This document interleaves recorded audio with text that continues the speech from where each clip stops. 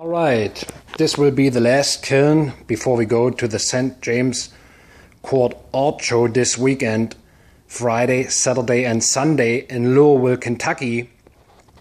Our new items for this season will be a soap dish, so you can put your soap in and it doesn't lay in the water all the time, and also you can put your jewelry right around it.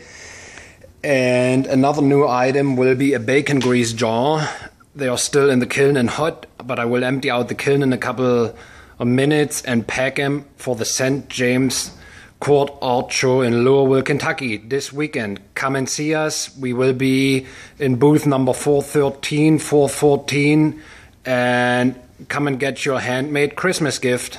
See you there. Bye.